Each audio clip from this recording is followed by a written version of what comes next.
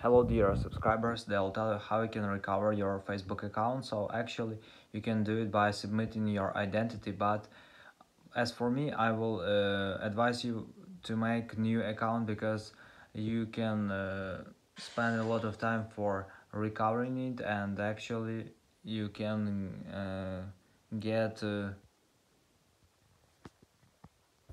your account not recovered. So thanks for watching, have a nice day, subscribe to my channel, click on my